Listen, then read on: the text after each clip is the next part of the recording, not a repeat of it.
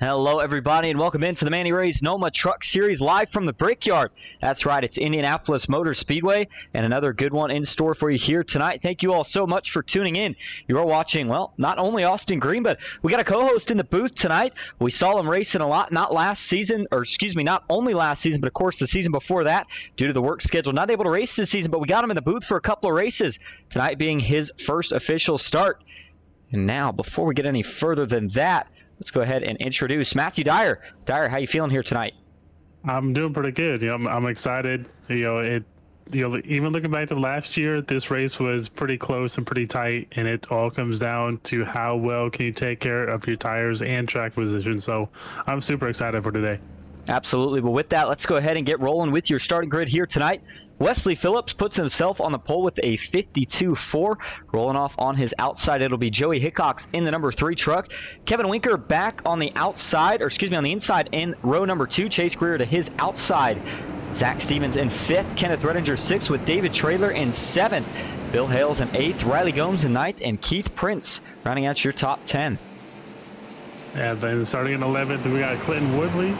Starting next to him is Clayton Cantrell, Michael Lawrence, Justin Barham, Aiden Lund, Justin Bentley, Matthew Fritz, Ronnie Morrison, uh, Brody Bentley, and also Jay Stinson running out your 20th position. Nick Wood will roll off 21st. Mark Beverly in 22nd. Ryan Gomes 23rd. Haas Beverly in 24th. Sam Boutwell 25th with Wiley Cantrell in 26th. Jeremy Beal 27th. Derek Catt in 28th. Randy Bonomi 29th. And Dylan Paws rounding out the field tonight. He will start from that 30th position. Well, again, we are at the Brickyard. A little bit of a special race here tonight. And so let's break down the race info for you. It's the H&H Tractor 188 here for the NOMA Truck Series. 75 laps, the scheduled distance. Everybody does have 75% fuel, six sets of tires in total. You do have that one fast spare in your pocket if you need it. Fixed setups as always, and then stage one ends on lap 15 at the end of lap 15. Stage two at the end of lap 40. And then as always, we do have three green-white checkers just in case we were to need them. Track temp, well over 100 degrees. In fact, 117 here as we get this race going. Track length, 2.5 miles, 72 degrees outside, 10% humidity. Clear skies and winds at 2 miles per hour. Absolutely, and the stage one is only going to be 15 laps, so we can make it because the fuel window is about 20 to 22 laps, so they got plenty of fuel to make the stage one. Certainly do. That means we're going to get a lot of aggressive racing from the drop of the green all the way through these first 15 laps. But this place, it is a cheese grater on tires, so you're going to have to take care of the tires, especially over the first handful of laps or so. Here we go, rolling into the Geico restart zone. Green flag is in the air. We're racing at the Brickyard.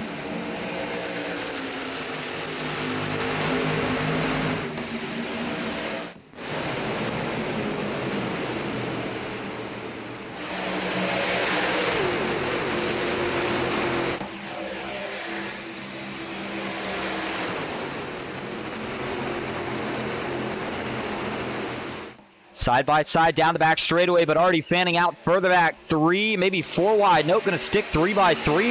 Up for the lead, though. Two wide as Kevin Winker trying to steal second from Wesley Phillips. Your pole sitter, Joey Hickox, was able to hold enough momentum on the outside until they got to the backstretch. Now he takes the lead, but boy, Kevin Winker getting tight on the inside. And I don't think we're going to see too much passing here tonight, Dyer, but if we are, it's going to be during these restarts. Yeah, absolutely. You really have to take a take real big advantage of those fresh tires early on. Otherwise, this is going to be really a choo-choo train the whole way. Because once the tires go away, you cannot make a pass, especially on that inside. And so far, things are starting to single file out just about as you'd expect. But further back, do still have a little bit of two by two action. That's the 16 of Justin Bentley. And on his outside right now, the 69 of Ronnie Morrison trying to make something happen. The 32 of Aiden Lund. Watching these two go at it, seeing if one of their momentum stalls or both. He can make a move, Matthew Fritz further back than maybe we were expecting in terms of the qualifying effort for the 29. But already this field starting to get pretty stretched out as we got a battle for the lead up front. The 46, Wesley Phillips to the inside of Joey Hickox. And Alpha turn number four here is where you're going to have to have the momentum if you want to set up a move for the front straight away. Nothing doing. Wesley Phillips is going to fall back a spot and tuck back in line. Absolutely. Yo, I think Joey knows the importance of the clean air, so he wants to get out in front, take care of his tires, and really just make the other guys do the hard work and try to pass him. Yeah, I mean, that's what you got to do, right? Kevin Winker here taking a peek. Notice you just mentioned clean air. Best way for that 42 to gain any ground here on the three truck is going to be to get that nose out in clean air. The best way you can really do that on one groove racetrack like we're at tonight with Indianapolis is just to get to the corner a little bit sooner. And the guy in front, caution is out. Trouble further back in the field here. Not sure exactly who this one entails. Looks like it might have been Randy Bonomi in the 66 truck. Ooh. It looks like there was a little bit of trouble in the back with the 55. May have been having some trouble. And then Sam tried to check up for him, and the 7 of Wiley Cantrell just went straight in the back of Sam. I'll have to go back and take a look at it. And, but yeah, there you see the damage to the front end of Wiley Cantrell. So that certainly proves that he was a victim in this one. As that could be his fast spare gone here before we even get to the end of stage number one. So let's go back here and take a look at exactly where this thing all goes wrong. In that picture, you already see the 66 had slid up the track, but this doesn't start there. This starts all the way down on the entrance to turn one. Is you just heard Matthew talking about the trouble with the 55, and the trouble starts with Ryan Gomes. And looks like Sam Boutwell here for Grandstand Racing. We're going to go to the chopper view first. And looks like Ryan maybe initially here is going to poke out to make a move. Let's see what happens. Oh, yeah, he ducks out of line, and then I think he realizes that that's going to get really, really tight if he tries to send it off in the corner as much as it looked like he was going to. And as he starts to check up, Sam Boutwell running really close and just not able to get the memo in time. He runs into the back of the 55 who gets sent down to the apron. And it looks like he's able to save it, though. It's a phenomenal save, but that stack up involving the 47 allows the 7 there of Wiley Cantrell to get a big run up on the incident. He's not able to avoid it, already committed to the lane. And once they find each other's bumpers, that's a huge hit for the front of the 7, and then that sends him up the track. 47 that is, and as he goes for a spin here, out back, Randy Bonomi's trying to miss it, and looks like he's going to go for a pretty harmless spin himself. I definitely think it's one of those things where it's if you are in the back and you know you may not be getting stage points, like do you risk holding on to the damage and waiting until you know the end of the first or second stage and then finally use you know your fast repair? Yeah, it's a tough call because, of course, everybody wants some stage points, but yeah, I completely agree. It's kind of that risk versus reward scenario, so we'll have to see. But I mean, man, when the damage is as bad as it is for the seven, I just don't know if he can hold off. I could certainly see a guy maybe such as Sam Boutwell here, as it looks like for the most part he was able to hold on to this truck. Uh, he may not have to use a fast spare. Same deal for Randy Bonomi, Ryan Gomes, but I think if we're going to see anyone have to use one, it's going to be Wiley Cantrell. This again looks like he certainly took the biggest hit in that incident. All right, back up front, five laps complete here at the Brickyard. It is Joey Hickox being scored as your leader. Kevin Winker second, Wesley Phillips third, Kenneth Redinger in fourth, Chase Greer fifth with Zach Stevens in sixth, David Trailer in seventh, Riley Gomes eighth, Bill Hales in ninth, and Clinton Woodby rounding out your top 10. Now, we do have a couple of guys down the pits, and of course, most of them, the ones that had damage, Ryan Gomes, Randy Bonomi, Sam Boutwell, Wiley Cantrell. Now, Matthew, we did talk about the fact that tire wear is going to be an issue tonight, and you got to take care of your stuff, but you know, five laps in, the tires, they're certainly feeling it, but I just, I don't think this is one of those scenarios where guys can just go in and keep putting on tires because even though six sets sounds like a lot, you always want to have at least one to two backup sets if we get a couple late restarts in this race. Absolutely. I think you want to hold off on them because you definitely want to use them like later on in the race because I think it's going to be about an eight lap shootout and you're not going to be able to gain as much ground as you think you would if you were to pit and it's not it's not fully worth it. Definitely when you look at the schedule and the tracks that we've already been to this season, this is one of those tracks that you really need probably to be in the top five to have a chance at well any sort of finish, whether it's for the stage or for the end of the race, because you're just not going to be able to make up those spots like you would at other tracks that maybe have multiple groups, such as Auto Club. So again, it's going to be really, really interesting to see how much of a role that clean air plays here for the rest of stage one for Joey Hickox. That draft, though, a big factor as well. Again, 2.5 miles in length here is the Brickyard, and those straightaways, similar to what we would see at Daytona and Talladega, they allow for a lot of drafting action. That's how we can see guys fan out after they get a run, but also a lot of different tandem pushing going to be going on. But I'm impressed with Wesley Phillips so far. I mean, Matthew, over the last couple races, we've seen him doing a phenomenal job showing a lot of speed. Takes a pole here tonight, and so far still hanging around the top three. Good looking run so far for the 46.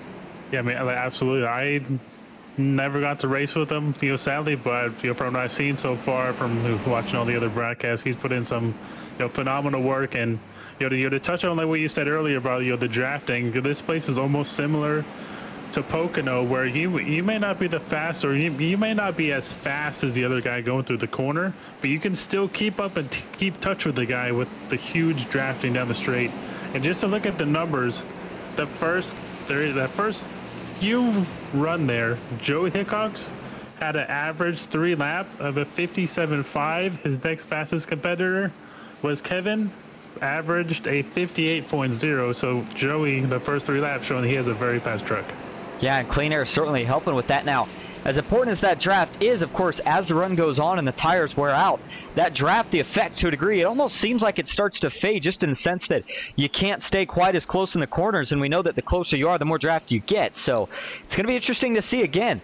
Looks like when we go back green here, it's only going to be, I believe, just about eight laps to go to wrap up stage number one. So I think we're still at that point where you can pretty much push for just about all you're worth without having to worry about the tires completely going away. But at the same time, if you're one of these guys that can utilize the draft, save a little bit of tire for maybe these first five laps or so, maybe set yourself up for the last two to three laps and have a chance to make a couple moves through the field here and potentially steal a stage win. All right, here we go.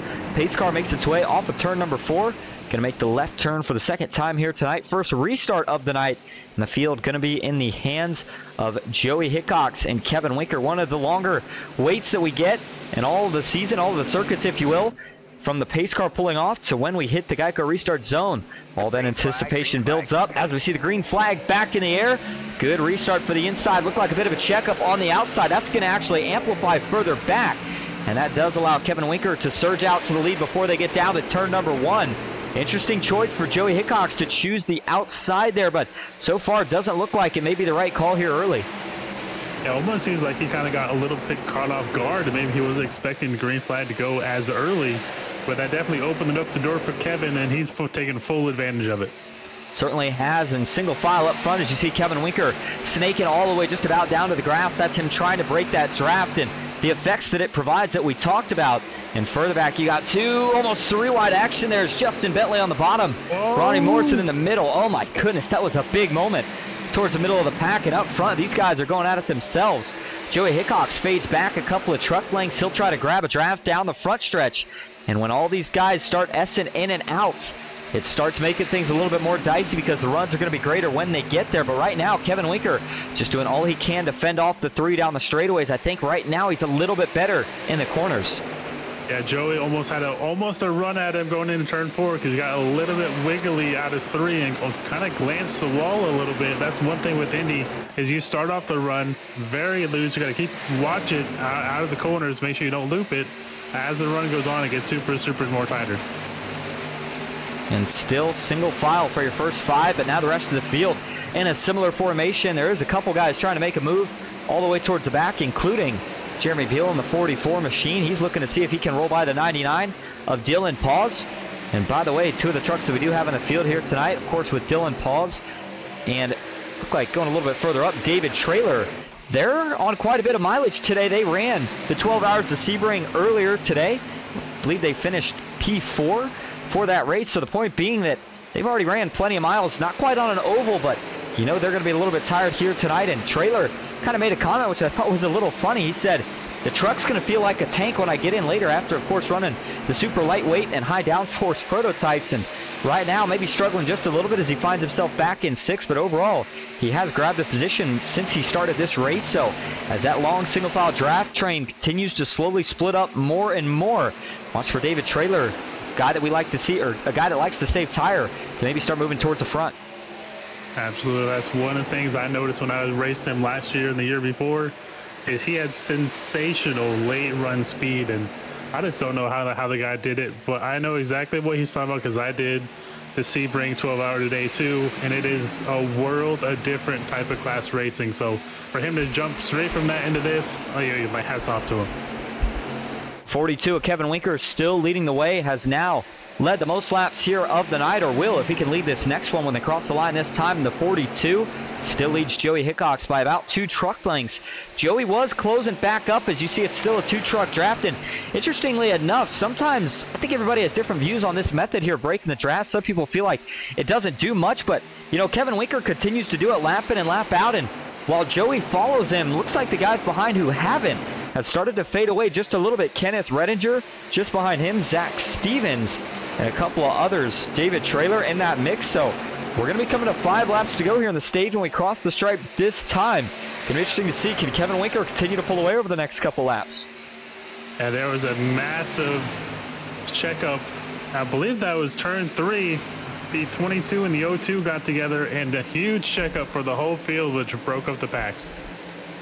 Certainly did. Single file back here. Ronnie Morrison's going to get a run on Clinton Woodby, who you saw dive it down to complete the pass, but ultimately cost him some momentum through the corner here. Looks like he's going to fend off the 69. And then back here, Clay Cantrell in the 88. Again, a guy who we really saw his breakout success, at least on the Ghost Racing Network where we've been broadcasting NOMA races, coming in the Gen 6 series. And so we were expecting maybe a little bit more of a fiery start here in the trucks, but he's shown some speed so far tonight. Still hanging well inside the top 15. Michael Lawrence back in 16th. Justin Bentley just outside of it in 16th. And then Dylan Paws looking to maybe set up a move here on Aiden Lund through turn number three. Nothing doing there, but as we go back to the front of the field, Kevin Winker now six tenths of a second ahead of Joey Hickox. Kenneth Redinger has broke away from that draft behind.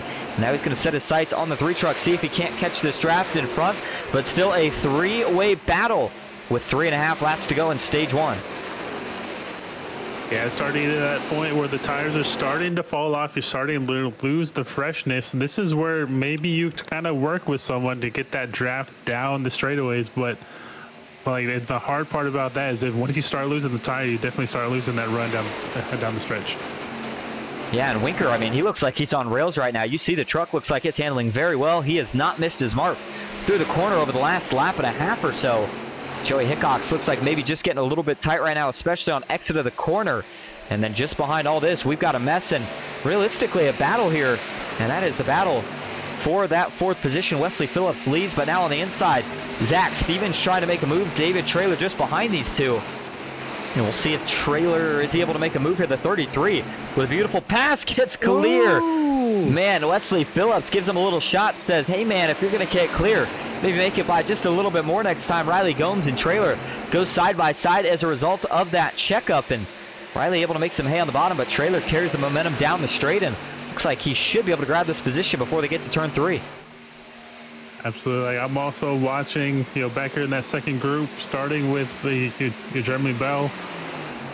Just watching them stay in line. Oh, Dylan starts to peek out, or like it, Jay now starts to peek out, trying to go below, getting real racy back here.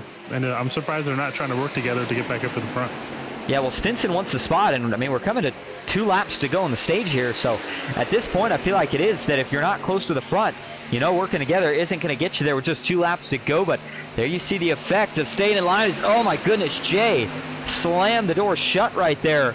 Oh my goodness, I'm trying to figure. I think that was Brody Benty just behind him. It was in the 63. Wow, that was a big moment as Jay blinking a little bit and looked like for a minute there Brody was not going to lift. He did. That was a very veteran move for Brody because that could have ended very poorly. But uh, Stinson does find that spot in line. The race for the lead still on. It looks like Joey has closed it back up just a little bit. But again, going to be coming to the white flag here on the stage, and I just don't know if he's quite close enough. I think he's going to need Winker to make a mistake. Yeah, I think I think Kevin has done a lot better job in saving his tires because he is definitely faster on this longer run.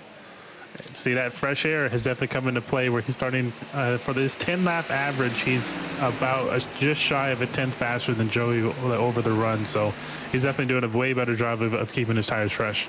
Kevin Winker sees the, well, not the green and white checker, but just the white flag for now here in stage number one. And Joey going to try to set this corner up a little different. Now, this is a technique that you can do. The problem is, you hear there on the cockpit view, those tires, they're worn out. He is scrubbing them as hard as he can, trying to get the truck to turn down. It's just not doing it. And, oh, caution is out, so looks like Brody Benty trouble further back. And so this thing won't quite race all the way to the finish. Wow, that was a close call for Wiley Cantrell as he arrived on the accident scene. Brody Benty gets back rolling here as looks like a little bit of damage to the left side door, but that's about the only spot I'm seeing it right now for the 63. Got to think that that means maybe he got some help down into the corners with somebody on his inside, but looks like maybe something a little different here. Let's back this up and take a view of it. And there you see, this is on exit of the corner. Jay Stinson on the inside, Brody Benty on the outside. And, ooh, the 63, he tags the outside wall, and then when he bounces off, Comes down into the 31 of Jay Stinson. That sends the 63 around. Down to the apron he'll go, and when he slides back up, this is where things start to get a little scary. Ryan Gomes just able to sneak by, and then the 63 starts rolling down the track, and oh my goodness. I don't know how Wiley Cantrell managed to miss that one. Yeah, I think that's just just a product of you know the older tires. You, you think you have more grip than you do, and it just starts to give it away. But I mean, that really just chalked up to I believe an eighth. To really a racing, isn't it? You you're both are racing super hard, trying to give trying to give each other space, but not a whole lot of space, and you just make one small mistake, and it just goes from there. And I feel like Indy in general, you know, since you just brought up the tires, and I want to bring up this point about the tires, is a little bit interesting compared to other tracks that we go to in the sense of normally your truck over a run is either going to get tight or it's going to get loose, but you know, here it feels like, and I know you could probably speak to this as a driver, Matthew, it almost seems like it gets a little bit of both. As the run goes on, you're wearing those front tires out, so it's really hard to get turned out of the truck late in the run, but at the same time, you put just a little bit too much wheel into it, and then the back end starts to slide around, so you just got to really try to kind of manage it as a driver. It's hard to do, but starting to see some of the signs of that wear and tear early there with the 63, just uh, getting tight on exit, and that wall certainly comes up pretty quick on exit of these corners. Yeah, absolutely. And to, to speak on that more, it's it starts out loose, so you think you have to, you know, be very careful with it. But as the run goes on, it will get tighter and tighter. But the more you turn the wheel, the more it it turns the wheels, and that when and that, when it catches, that's when it starts to snap loose, and you have to be careful on that. Absolutely. Well, pit stops underway. Everybody just about that was not staying out to try to get a lap back or something of the sort has brought it down to the pits. And in fact, it straight up looks like everybody brought it down to the pits. So, interestingly enough, everybody's showing you just how important tire wear is from the driver's perspective as well, as they all took four tires and fuel. But a little bit of a shakeup here on exit. Kevin Winker is going to lose two spots here to Joey Hickox and David Trailer. Well, looks like 54, maybe with trouble as the 42 pulls ahead of him. But that's good news for Joey Hickox because we saw the speed that he had when he was in clean air. Same deal for Kevin Winker, and with that being the case, I think that's really the main battle right now, especially on these restarts, is just who can get the clean air, and if you can hold on to it for maybe about five, six laps, then all of a sudden the tires start to get some wear on them and starts to be a little bit easier to manage your position. Yeah, it is very easy to lose time on pit road.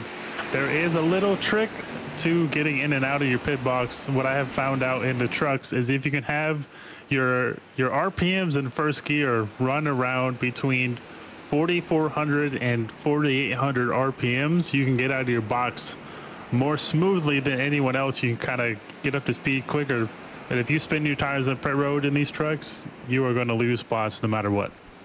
Yeah, so, you know, good heads up driving there by Joey Hickox, making sure that even while we're under caution in a pit cycle, Still trying to see if he can gain some spots, and it certainly pays off. Well, before we go any further, let's see if we can get a quick word here, potentially with your stage one winner, who, by the way, was indeed the 42 machine of Kevin Winker. Showed a lot of speed there towards the end of the stage and was able to hold on until we got that caution that ultimately ended the stage. Let's see how he's feeling right now.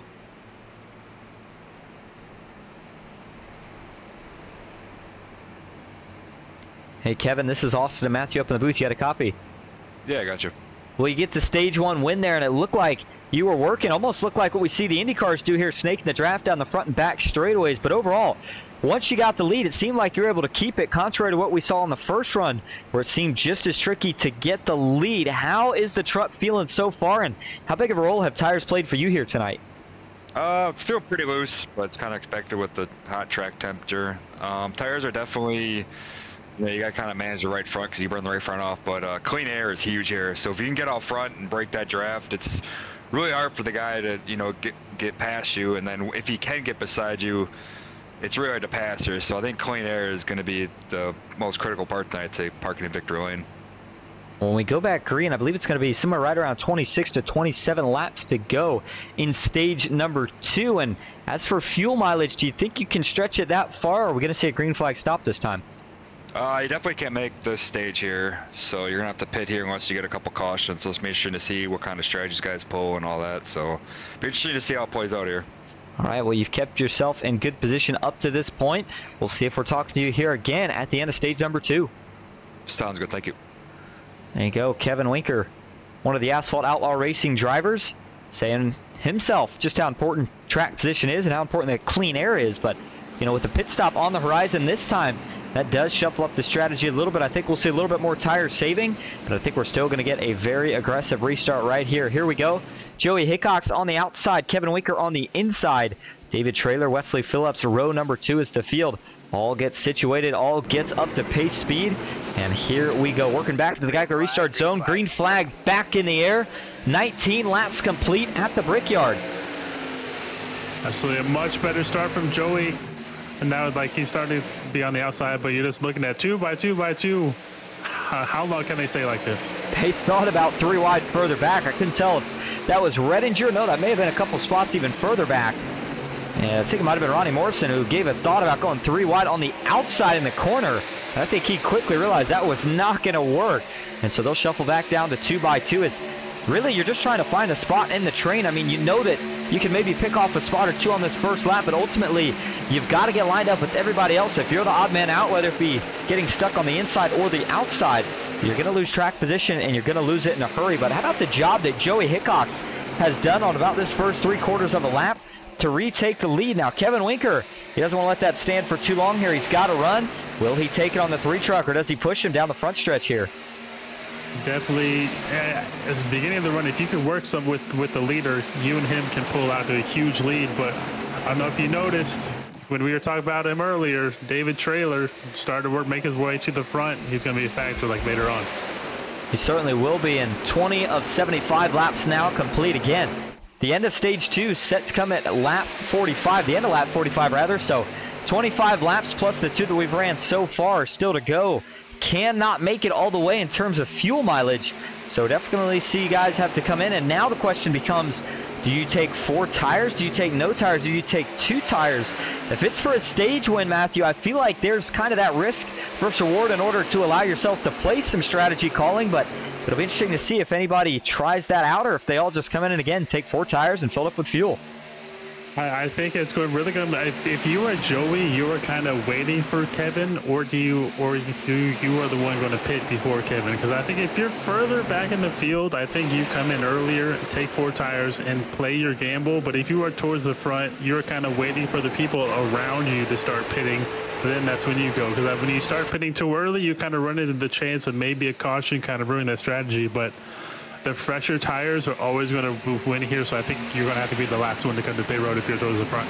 I agree with that strategy, but on the other end of it, I think if you have clean air, there's just, of course, no way that you can come in first. And I know you said that if you're further back in the field, it's a good idea to pit. And yeah, I would completely agree. You said it. Short pitting and getting fresher tires is the only way to really gain ground. When it starts to become a stalemate as it's becoming right now. The 32 of Aiden Lund jumped out of line there. Stevens tried to make a move as he got tight going through the corner, and Stevens quickly had to bail out of it. He jumped back down the line just in front of Clay Cantrell. Matthew Fritz and multiple others still hanging single file for the moment, but it's going to be Haas Beverly who now jumps to the inside of Randy Bonomi. And we did see Haas Beverly with a great run. And last week here in the Noma Truck Series, but Randy Bonomi was the one who was involved in that first caution. And so he's had a pretty good recovery up to this point, up to 23rd, up a spot from where he started this race at. Actually up seven for Bonomi, up one for Beverly. So both of those guys still going in the right direction as they're pulling a draft ahead. But up front, here we go. Battle for the lead. Kevin Winker, Joey Hickox side by side through the short chute down to turn number four. Joey trying to hold off the 42. He's going to have to put it on his door if he gets alongside, but he won't. And so Kevin Winker, who tried to make the move work off of four there, no dice, and he'll have to settle back in down the front stretch. Absolutely. It's the golden rule of defending. You want to pinch that guy on the bottom so that he does not quite get the run off so you can get that run on the outside. But it's one of those things where as Joey continues to run that outside line, that's going to burn his tires a little bit more, and it could even open up a chance for Kevin to, uh, to get in later. It is, but at the same time for the 42, every time that he goes to make a dive, and you know we see this and we talk about it a lot every time we're watching these Noma Truck Series races especially as the run goes on, but in general, whenever you make a move on a guy and that move doesn't work out, that is tire that you have just burned off that you don't have anymore. So each time that you make a move, you're burning more and more tire, and that move is going to be harder and harder to complete until at a certain point, you may just not even be able to make that move. And you see Winker, he tried it again, but the fire out of the pipes telling the story, just not able to quite stick the momentum down the front straightaway as Joey's able to get a little bit of a pull here, and that pull is just enough to get him separated by about half a truck length down into turn number one. Absolutely. Like one thing, if you notice too, when they start to battle, it keeps the guys behind them pretty darn close. So if Kevin wanted to, he could work with Joey, pull out an even bigger lead, and then you fight on later. But right now, as you can tell, like he wants that lead. Yeah, clean air just way too important to just be kind of letting somebody else have for the entirety of the run. He tried to help a little bit early on, and you know I think that got them to enough of a lead here to allow him to do what he's doing right now. But this time he might have good chances going into turn three. It's going to be Joey who has to bail. Saw the fire out of the pipes, trying to hang alongside. He will now, but speed getting scrubbed off here down into turn number four. He's still trying to hang even. Can Winker get clear off of four? He can't. Oh, Joey skims the outside wall.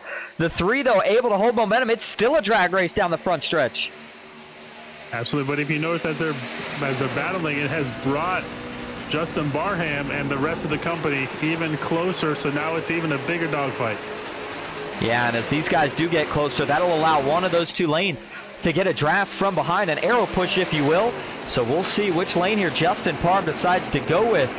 Grandstand Racing back at full strength here tonight after last week only having Justin Parham, and he did a good job. He was able to hold down the fort and, of course, got the win.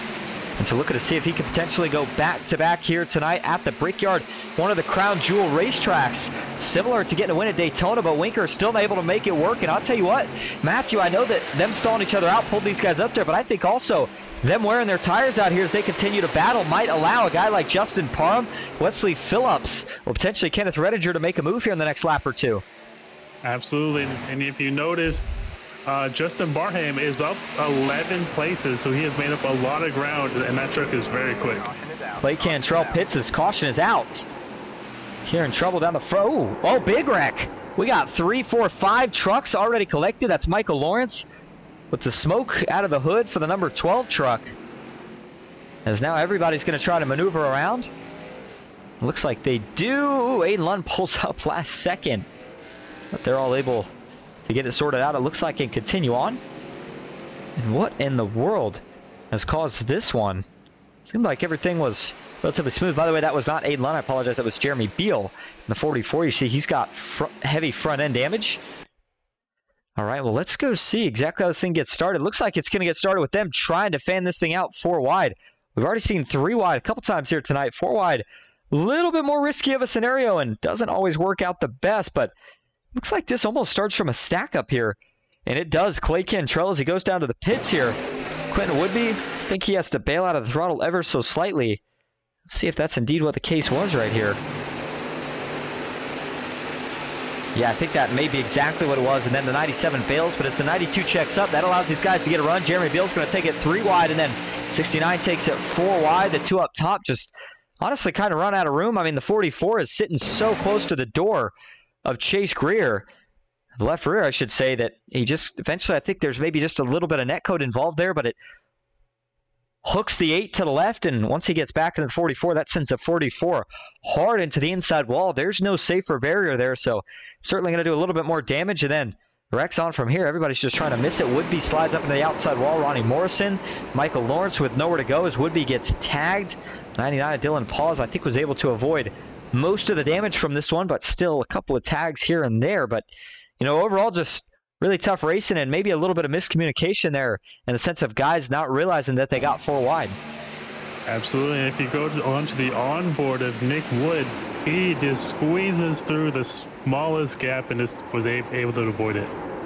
Yeah, and just before we go back and take an onboard view, giving you a couple more angles there of the hit for not only Jeremy Beal, but multiple others here as you see the 29 of Fritz, nowhere to go. He tags Clinton Woodby, and then the 12 hits him even harder. That propels the 92 up into the air.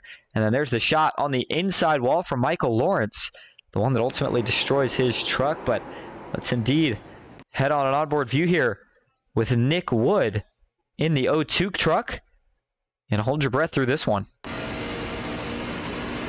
Sees him wrecking, goes to the outside. They start to come back up, and Thankfully, he only had to dodge one truck, but that was a split-second decision. The decision was the right one. It works out as he's able to miss a spinning Chase Greer, and as a result, keeps himself in contention. Watch this from the TV view as he somehow sneaks by this. There they go. They wreck to the inside. The 0-2 up top. Here comes the 8 of Chase Greer, and you heard him. He never really let off a bunch. Just kind of shoots the gap here, and things work out. The 16, Justin Bentley tried to follow the same gap, and unfortunately, that's how quickly things closed up. So a nice job by Nick Wood, but a big wreck here pretty early on in stage number two has put us back under caution. Up front, it is Dylan Paws being scored as your leader. Clay Cantrell second. Kevin Winker back in third. Joey Hickox fourth. And Justin Parham rounding out your top five. We are going to take a quick side-by-side -side break. We will be right back for the restart. Stick with us here at the Brickyard.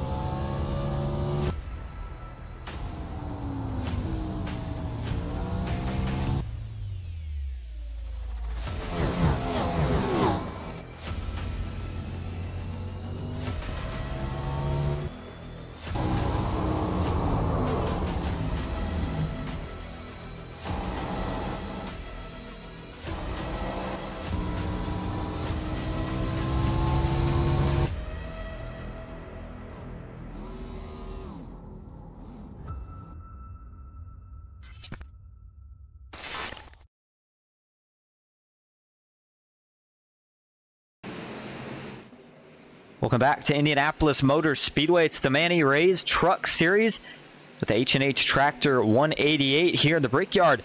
Here we go. 30 laps going to be complete. Now, we did have some strategy play with that last caution. Clay Cantrell, Dylan Pauls, now your leaders.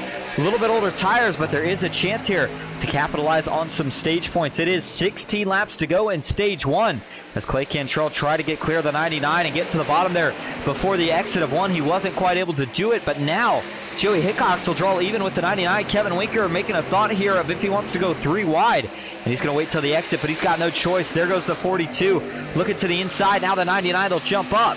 Two by two further back, but here we go. Race to the lead is on. Clay Cantrell on the outside. Joey Hickox going to duck to the inside into turn three. Absolutely. Joey knew he had to push Clay all the way out front, and now he's trying to take advantage of having cars between him and Kevin. But right now, Clay doing a very good job of holding that fresh air. He is, and you know, fresh air kind of one of those things that can cancel out old tires, but only for so long. So we'll see how much the tire. Oh, we got one in the wall out back. Haas Beverly's going to go around the 22. They all scramble to miss him. Oh my goodness, we got another hit on the inside. Michael Lawrence is going to get involved in this one as well. And now this will put us on the stage. Driver out of Ohio. That was not pretty. It looked like he got some help, at least from the live view. Let's see if that was indeed the case as we'll back this one up and go to the chopper view before we go any further. And watch as you see Haas, he's on the inside here of Bill Hales. Those two racing, of course, the Asphalt Outlaw Racing Truck Series together, and yikes. Looks like from this view there, I, I got to put that one, I think, on Bill Hales. Matthew just looks like, I mean, there's clearly a link to the outside, but he just kind of really runs into the right rear there of Haas Beverly. I'm assuming that I don't I don't think he was trying to give Haas a push because obviously he would have been trying to get more center. I'm thinking he was trying to jump to the outside to get a side draft and maybe just misjudged it a little bit. And unfortunately, as a result, it just yeah straight hooks the 22 pretty hard into that outside concrete wall. And then everybody else we talked about the mad scramble to miss anytime they wreck. And it's not very wide down the front stretch here, of course, with that pit wall. So you don't have that many options in the seven of Wiley Cantrell. Tag the outside wall. He's going to come down, but the big hit goes to the 13 here of Derek Cat as he tags the concrete wall. And then Michael Lawrence slides in. He's also got nowhere to go. So, you know, just another one of those things. Hard racing, but an unfortunate deal for Haas Beverly and Michael Lawrence and a couple others that were involved in that one. Absolutely. You know, it's one of those things where at the start you want to take advantage of your fresh tires, but you also got to know that you can't win it right now. You got to give people room and just put yourself in a better position later on. But yeah, you you definitely got to give people room on this front stretch. Like I know you can make it four wide, but you don't want to go any more than three. But you definitely got to give more room there. And boy, I'll tell you what I feel for Michael Lawrence in that one. Of course, just had to use his fast pair and comes back out and immediately gets damaged. But you know, I've been in some of these positions before. In the case of Bill Hales, but I, I completely agree, Matthew. It's just a little bit too early. Got to give a little bit more space than that.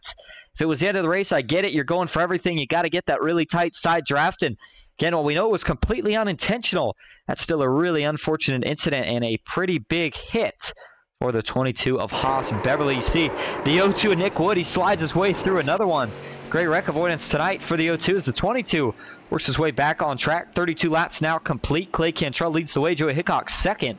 Dylan Pauls in third. Wesley Phillips in fourth. And Justin Parham finding out your top five. I want to take a moment to acknowledge everybody tuning in here tonight. We certainly appreciate it. Tower operator says Winker Nation. Nancy Hickox, good to see you in here. She is excited to see Matthew Dyer back in the booth. Billy Bentley, glad you're watching on TV.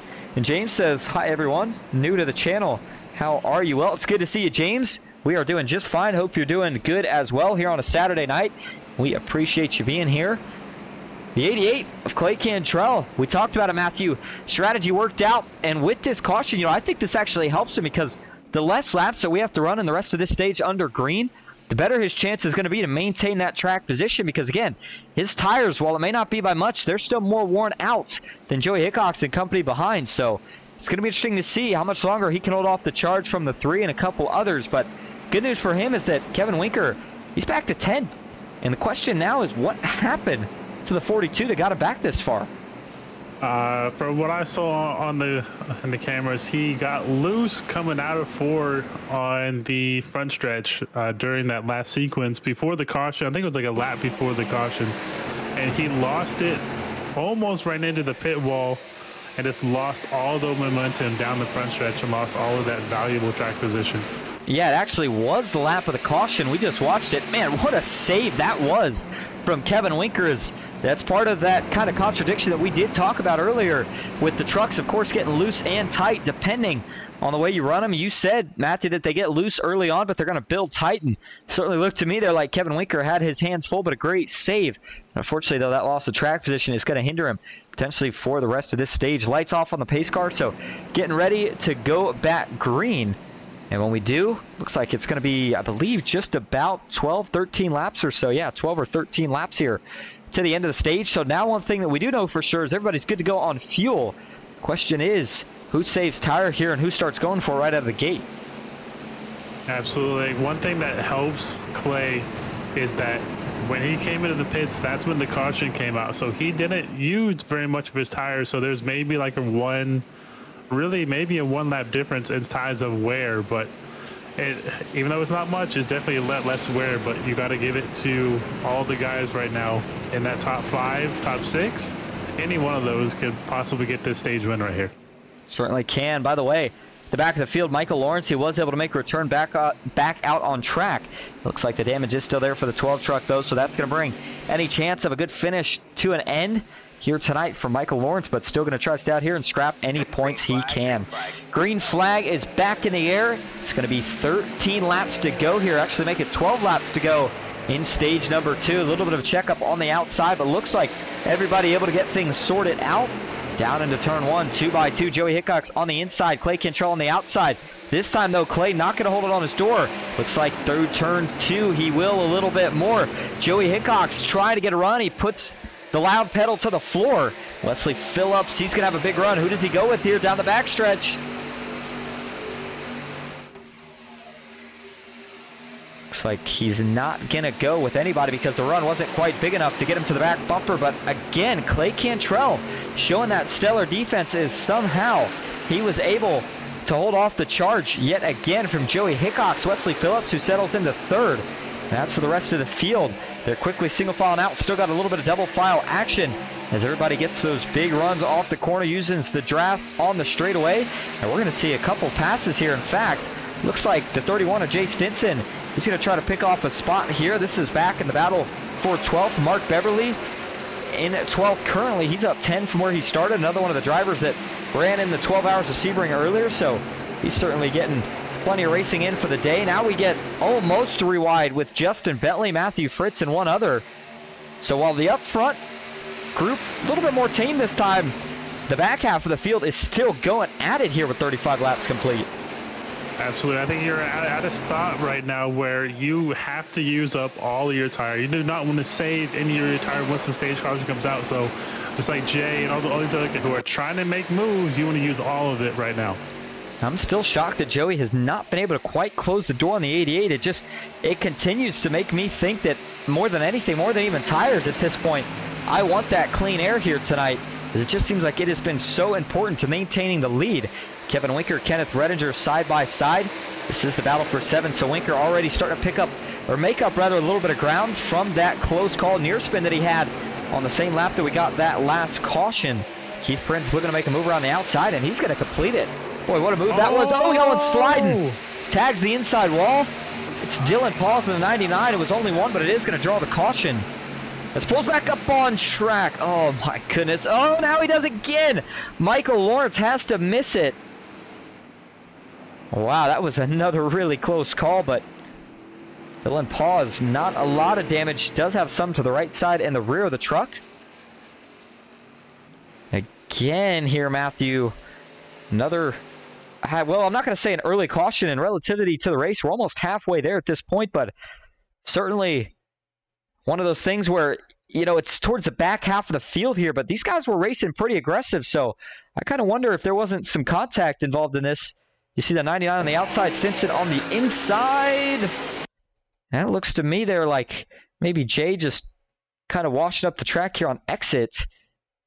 And, you know, to be fair, it just, it really does look just like another hard racing incident to me. I mean, the 99 of Dylan Paws, yes, he's holding his line, but at the same time, he's got a little bit more room to go up. And in Jay Stinson's defense, we know that, yes, he's moving up the track, and of course, he gets into the 99, but he's got to wash up a little bit. That's just the way these trucks drive around here. They get tight on exit.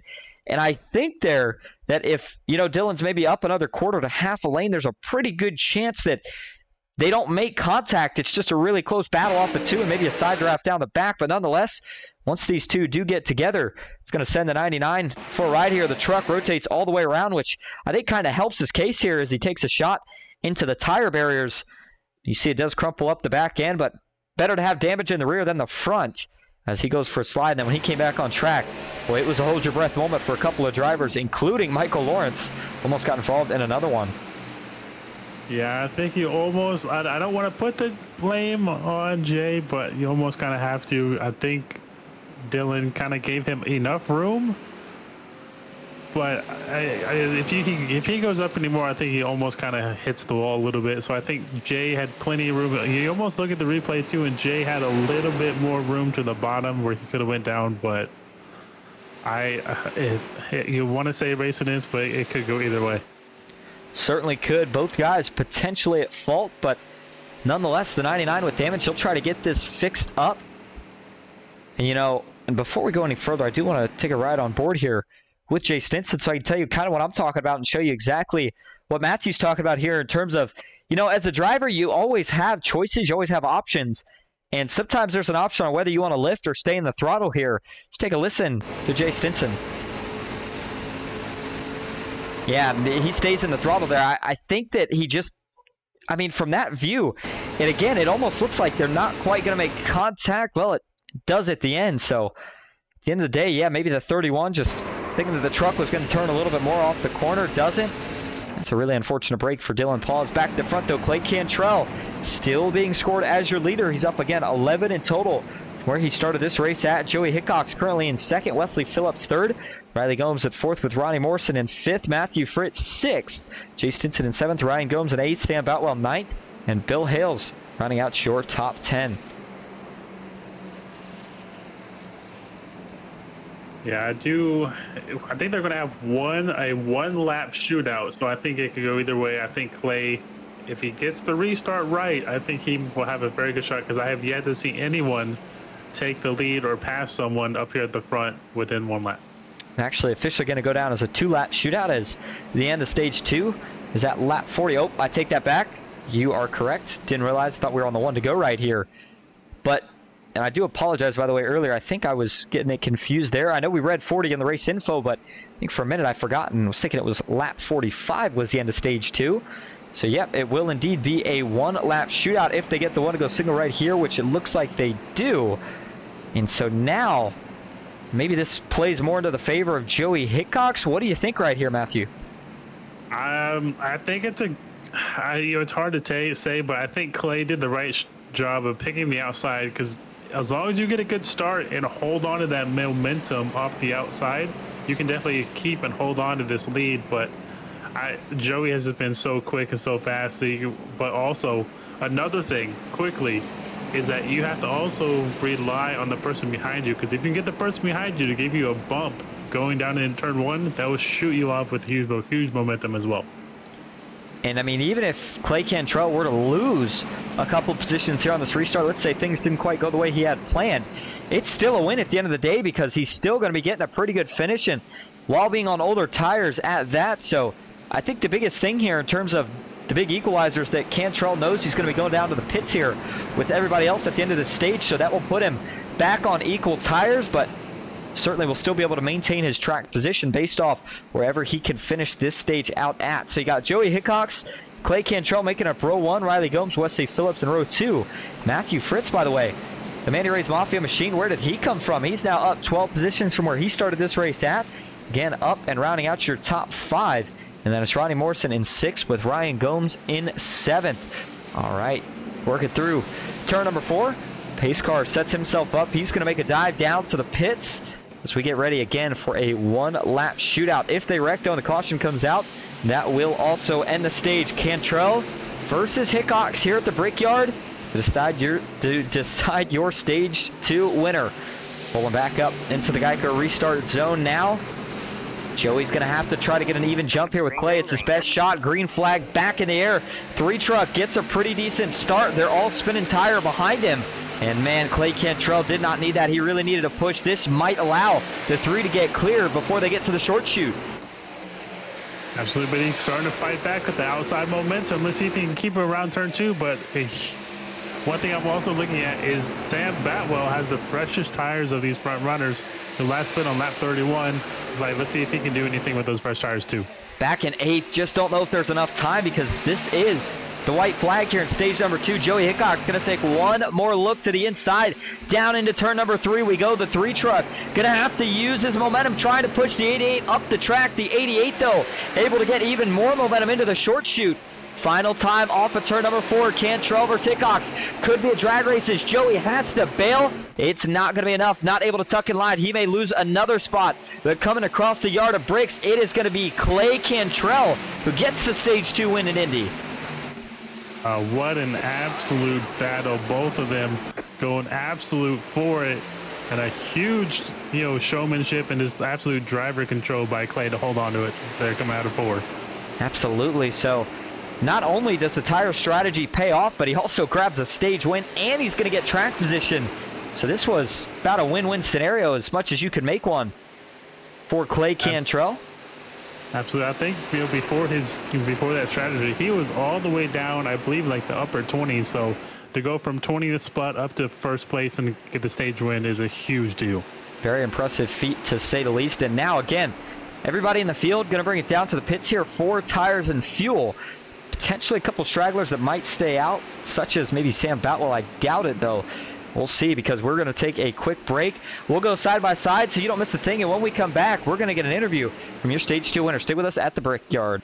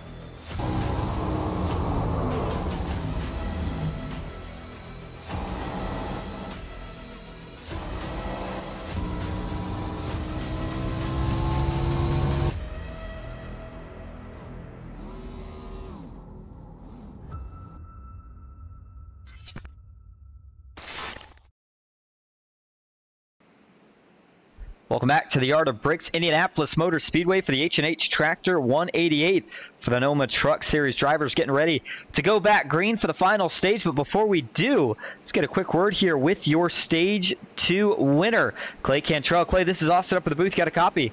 Yes, sir. Well, man, you played some tire strategy. First off, was that the plan? And second of all, how did you manage to hold off Joey Hickox there with older tires? Uh, to be honest, it's the second time I've done it this season. I uh, came down pit road there, uh, took fuel and tires, uh, only to realize that I had uh, fuel check but no fuel to go in the car. So had to come down and take fuel, and then, I mean, it's just one of those things. that got really lucky that when I came down to take fuel, I mean, they, they wrecked after I had crossed the open pit road, so came out smelling like a rose. Uh, track position is definitely king tonight. I mean, it's you gotta be you gotta be on the top. I mean, you can't. It's really hard to pass on the bottom. So, track position is definitely everything, and just had enough speed to where we could hold them off right there at the end. But now we had that caution with uh, you know a couple before the stage ended, so it kind of split everybody. I mean, I've got We've got 14 guys in front of me that have only ran two laps on, on fresh tires, so it's going to be really hard to dice through the field, but we got 32 laps to do it, so we'll see what happens. Well, I had a follow-up question, but you answered it right there with how you're going to get through the track position. Now, a little bit curious here. How do you plan on playing out that final pit stop? You think it's somewhere around halfway, or do you try to undercut this thing? Uh, I think I'm. I mean, unless the leaders start coming, I'm going to split the stage just to optimize the tires. Uh, looks like we got about 32 to go, so you'll see me coming down about 15, 16 laps. Sounds like a plan. Well, we appreciate you talking to us. Congrats again on the stage two win, and we'll see if we're talking to you at the end of the race. Thanks, man. All right, there you go, Clay Cantrell. And, you know, interestingly enough, Matthew, and I, I kind of didn't think about that, but, you know, when you mentioned Sam Boutwell, and then, of course, it kind of brings up the topic of the guys who did decide to go in there and then stay out. So now that we've got that strategy mix up, it puts some of the guys who have had speed all night back towards the front of the field. Kevin Winker, David Trailer, Kenneth Redinger, who, by the way, maybe this is a bit of a surprise that we have not seen him in the lead yet here tonight after he's already got multiple wins on the season. But I don't think that's all we've heard from the 24 yet tonight. Again, he's still going to have just about 31 laps to go when we go green right here, so still plenty of time to get up to the lead. Absolutely. You know, this being his teammate last year and to seeing what kind of competitor he is, he does not like finishing second. So is I, I fully see him being right here towards the end. And, it, and, you know he wants that win. Regardless of how many he has, he always wants another. Yeah, I mean, he's already got a couple championships. What's another win to go with it? Here we go for stage number three. David Trailer on the outside, Kevin Winker on the inside. Green flag. Flag back in the air. It's a good restart for the outside line, but Kevin Winker going to start to fight back. Which lane's going to get there first? Can Redinger give a push to Kevin Winker? Oh, we got one going around out back here. Couldn't tell who that was. Randy Bonomi hard into the inside wall. And I wonder if he had some sort of issue there. We saw him hold the wheel to the left. I'm thinking he got some help here. I wonder if this was a byproduct of another checkup on a restart.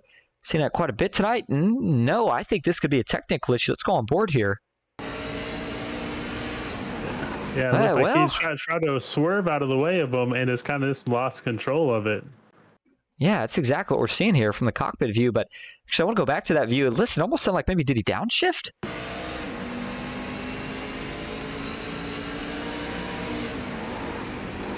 Yes, that's a really interesting one. But yeah, I agree. I think he's trying to swerve, but it seemed like maybe there was also something else that went along with it that got him that out of shape. Is now cautions out as we go back towards the front of the field and the breakdown where this one happened at is it looks like Bill Hales and multiple others involved in this one. We got three to four trucks stopped. Joey Hickox for Venom Racing, one of the drivers involved, and now Bonomi slides in about 30 seconds after the wreck had occurred, and biggest hit comes right at the end. And 46 laps complete, so didn't even make it around but one time here going back under green when this caution came out. Well, let's see exactly what gets it started here. Joey Hickox. I think this may start just in front of him. We're going to go to the blimp cam. Actually, we're going to go to the chopper cam first. And watch, they get three wide here. And yeah, you know, we've seen three wide a couple times tonight on the straights, and that's usually okay. Three wide coming off a turn, that usually doesn't work out too well. See Stevens on the outside, the 13 of Derek Cat in the middle. And then there's Clay Cantrell on the bottom. Riley Gomes has a run.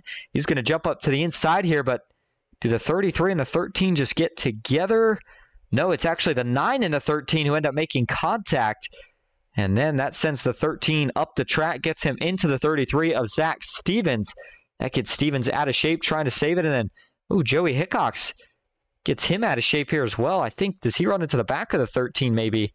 Looks like that's yeah, what he did. He had nowhere to go and tried to check up, and this, the momentum just took him in there. Ooh, man, that was a big, big hit too. For a couple of guys who had nowhere to go, and then as we talked about, about 30 seconds or so after this wreck was over, maybe not quite that long, make it 10 to 15. Here's the onrushing Randy Bonomi, who's going to try to sneak by the outside. And then as Bill Hales moves up, 66 locks up the brakes and slides in. Maybe a couple more angles to this one here. First from TV3. Yeah, there's some there were some big hits in this one too. I'll tell you what, Matthew, this is going to take a handful of fast repairs for the guys that still have them. And I see a couple of trucks that I saw in a couple incidents earlier, and you start to wonder if they all have fast repairs at this point or not.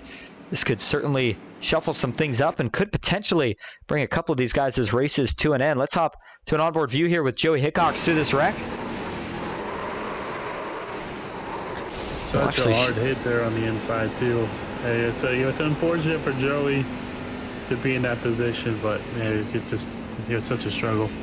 And here's the view from onboard Randy Bonomi. You hear him, he's checking up, but I don't think he was expecting the 53 to go up, so that's really just a tough break for all these guys that were involved. And this was the biggest wreck of the night that we've had so far. So we look at one more angle of it. Talk about that big hit for Joey Hickox as he got T-boned as he hit the inside wall. Zach Stevens as well.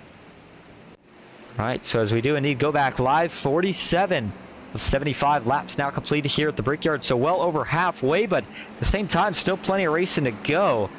Just as we get the green, I think we're going to have about 26, 27 laps still left under green flag racing. So still expecting a green flag pit stop, at least as of this point. Question is going to be when do you go in and who goes in first? But as things stay right now, David Trailer is being scored as your leader. Kevin Winker in second with Justin Bentley in third. Kenneth Redinger fourth. Justin Parham fifth. Mark Beverly sixth with Nick Wood seventh. Keith Prince eighth. Jeremy Beelan ninth. Chase Greer rounding out your top ten.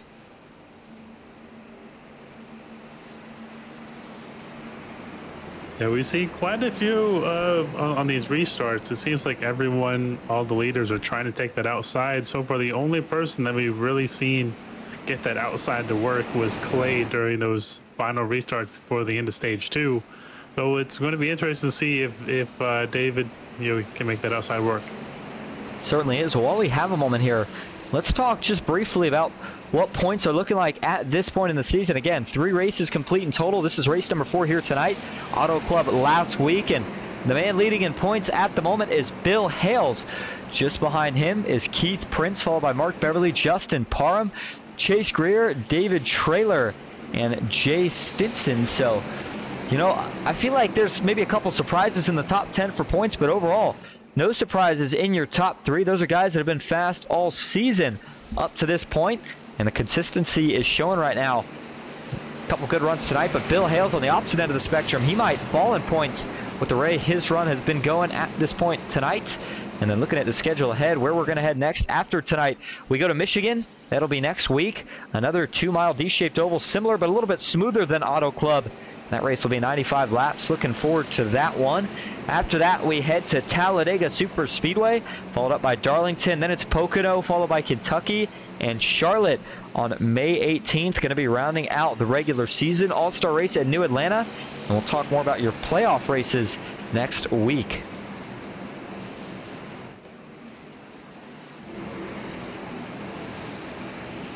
All right, pace car working its way off of turn number four.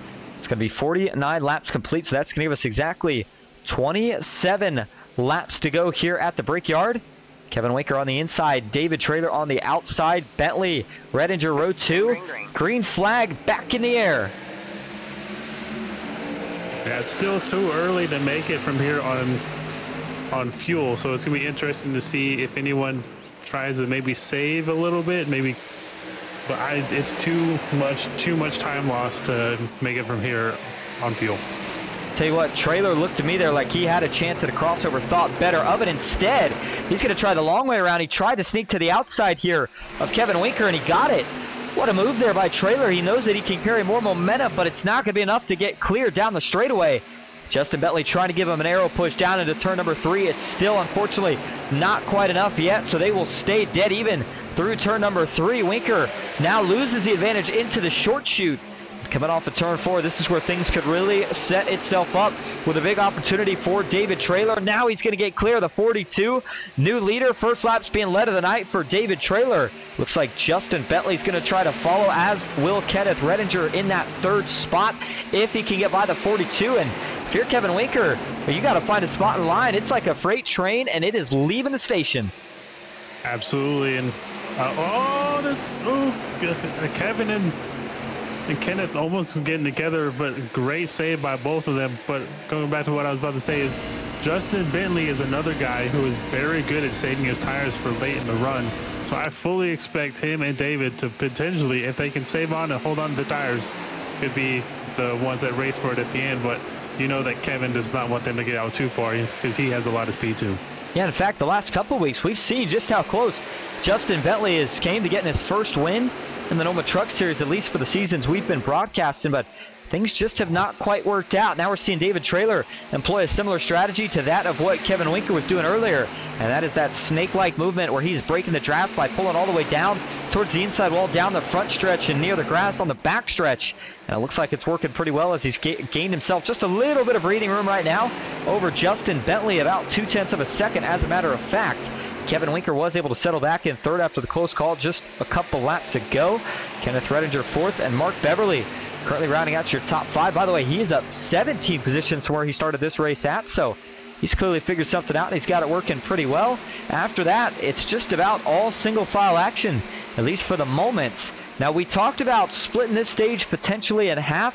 Again, when we went back green, it was about 30 laps to go.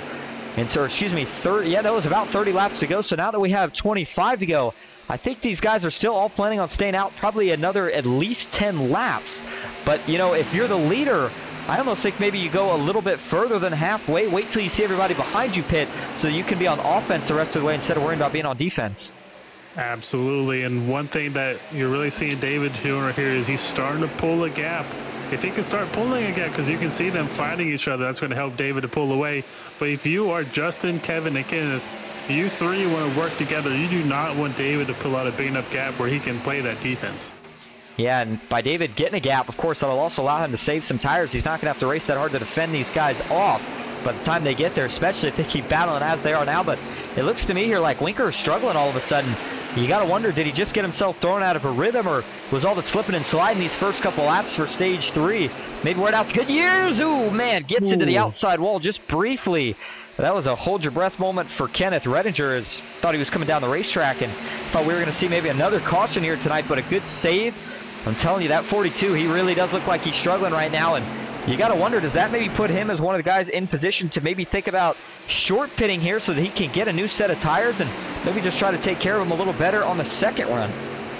Absolutely. Your first two to three laps is so crucial in trying to save your tires because if you even run a little bit too hard, you're going to pay the sacrifice the whole time during the run. So you, can start to maybe save a little bit more as the time as you see him duck a little bit beneath Justin to get just to get as you see him get loose out the corner, but he's trying to get as much fresh, clean air onto that nose as possible so that he can try to hang on to those front tires. Yeah, but he's struggling right now. He is warm out, and at this point, I think this is going to start to become damage control for the 42. And just hold on to whatever you can until we can make it to that pit stop. And again, as we stand, at least for the moment, we are about seven to eight laps away from when we would expect the general or majority of the field, if you will, to bring it down for that final stop. And you got to make sure you execute. It is still a little bit of a tricky pit road here. Not one of the trickiest ones out of all the tracks we've been to, but you know, you're still carrying a lot of speed, well over probably 160, maybe over 170 miles off of turn number three, turn four rather. And so you got to be really careful, making sure you get down to speed without locking the brakes, and certainly don't want to accidentally hit that pit separator from the racetrack, if you will, because that would be a night ender to say the least. Absolutely. And one thing that I've noticed from the Indy pit road is that if you can get it sneaks up on you very quickly, but if you can get into the pit road very quickly, very hard, you can make up a lot of time, especially on the exit of pit road where it goes around turn one and two.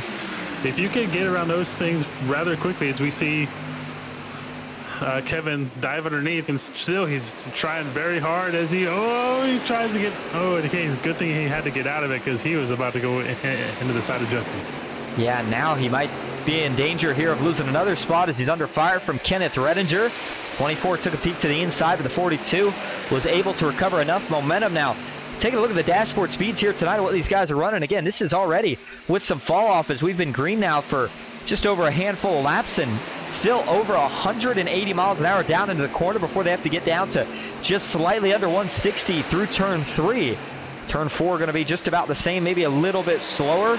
And then down the straightaway, they put the hammer down, and with the draft, speeds here again almost about 185, if not almost 190 miles an hour. So a lot of speed, a lot of grip right now, but it'll continue to fade away as this run goes on. David Trailer, though, I mean, how about this? This is the first time tonight, Matthew, that we have seen anybody pull out to over a second second lead, or excuse me, to over a second lead and right now, it doesn't look like anybody's been able to track that down. And by being well over a second and a half at this point, he doesn't have to worry about anybody catching a draft either.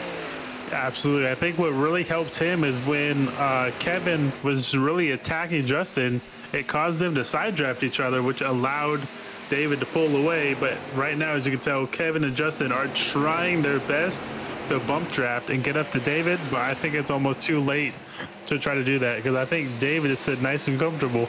But now it allows Justin to have that fresh air and clean air on his nose, so it allows him to save his tires a little bit better.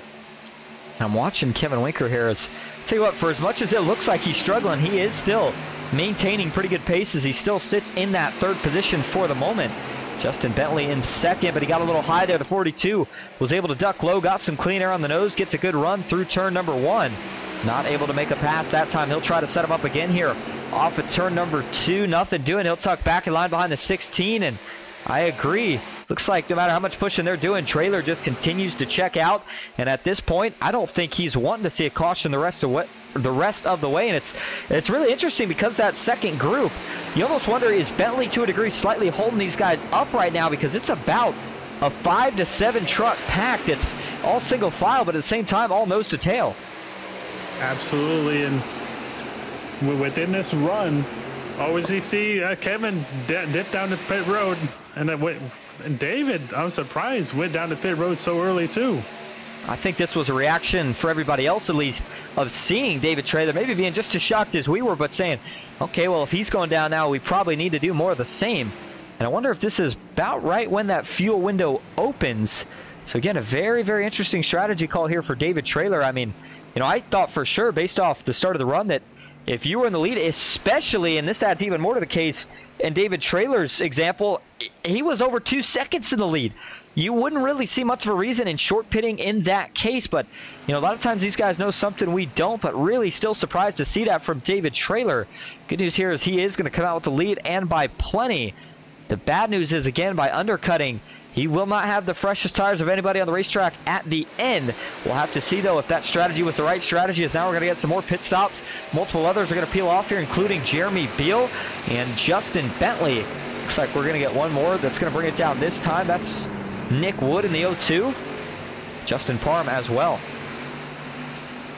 I'm, I'm, I'm still really surprised because that two second gap, you could have stayed out another lap or two and then pitted and still would have came out with the lead and used those fresh tires to pull out. But may, maybe they do know something that we don't know. But I still think you know you should have waited a few more laps to maybe even like split it down in the middle. But right now we see Justin and Kenneth really working together. But man, like Kenneth really wants that lead.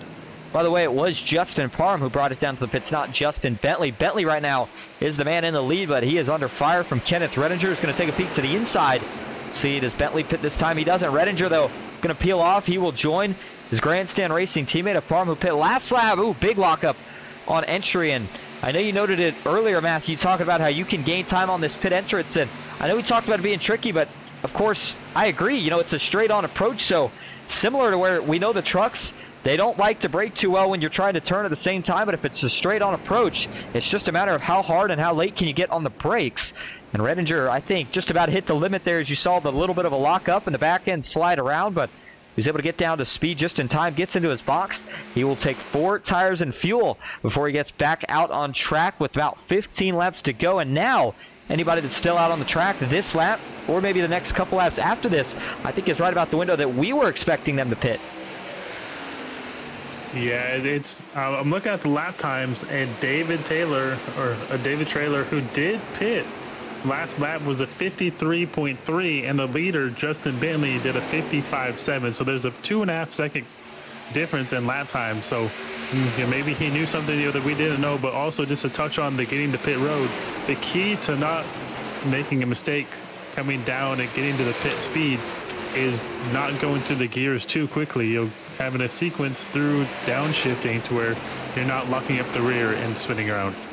Yeah, and to add to the point about tire wear, I mean, how about that two and a half second fall off? And we're not even at the end of a run here.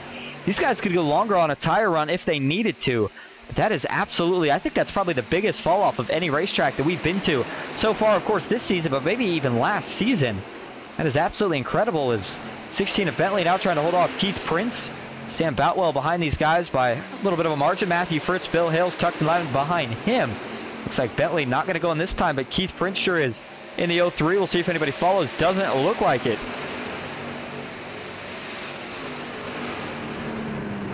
Yeah, if you are in that front group now, you're kind of hoping for you know maybe a caution to come at some point, so you can kind of get on the same sequence.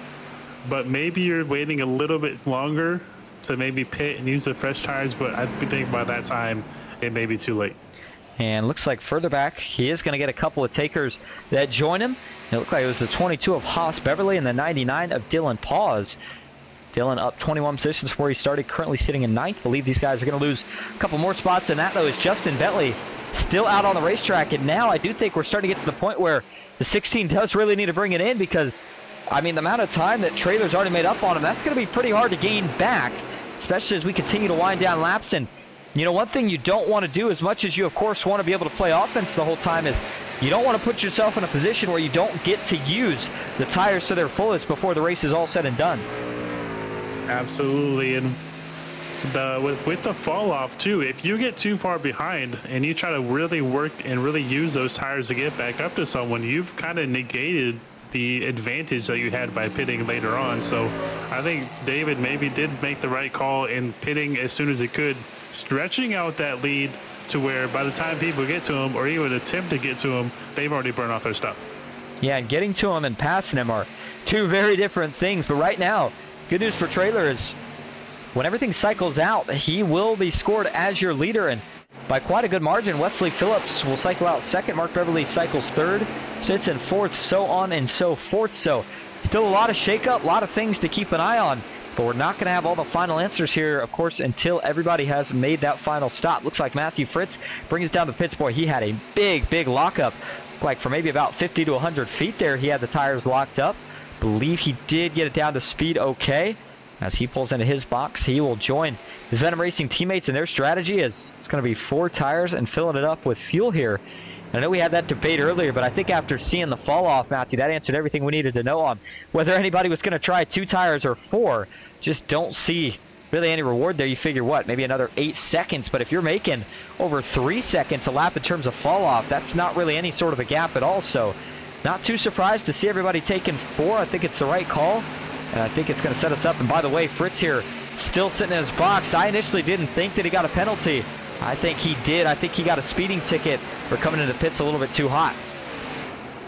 It, it may have, but one thing I'm starting to look at too is that is if Justin, oh, like, oh, okay, Justin was able to come inside. Now you're now the only other people left out there is Sam, Zachary, and Willie. So we'll see if those three maybe stay out as long as they can and hoping for a caution. Yeah, that's the gamble that you can play, and you know you kind of made your bet at this point. If you're still out there, you're you're staying out there. I mean, there's just nothing else that's really going to work. And so, Sam Boutwell, Zach Stevens, and Wiley Cantrell, all three of those trucks just hoping and praying that something happens somewhere. A virtual piece of debris, anything that could bring out a caution, but with things this spread out and the track map further showing that trend, I just don't know if we're going to see one here in the next 10 laps or so once Boutwell crosses the line this time. And in terms of how long they can run here, they could probably, if I had to guess, get another three to five laps out of it in total. Eh, maybe not even quite that much. If they can, well, we'll go ahead and leave it at that for now. Two to five laps in total here. But Sam Boutwell tucks in line behind Joey Hickox, and he stays out yet another lap, as does Zach Stevens and Wiley Cantrell. 10 laps to go now at the Brickyard. Yeah, right now Sam is about 18 laps on on his stance, so he's he's going to be coming in about three laps. All right. Well, Zach Stevens, who sits in second, you got to assume on a pretty similar strategy as is Wiley Cantrell. But David Trailer, still the man we're keeping an eye on now. He has not captured a win yet this season in the NOMA Truck Series, but also has not yet captured a win in the Asphalt Outlaw Racing Truck Series this season. He has come so close so many times. More podium finishes than you could count. More bridesmaid finishes than you could count, but he is still, again, yet to grab that first win tonight. Looking like it could be his night, at least if this thing is able to stay green the rest of the way.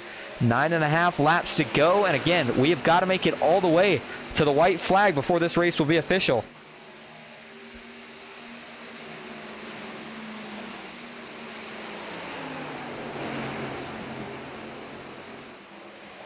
Oh, what a round. Trying to save it. Who was that? Was that Derek Cat? It was Derek Cat with big issues here, and it's going to bring the caution out. The one thing David Trailer did not want to see is now the 13 gets tagged by Clinton Woodby. And the reaction says it all. He is not too happy about it.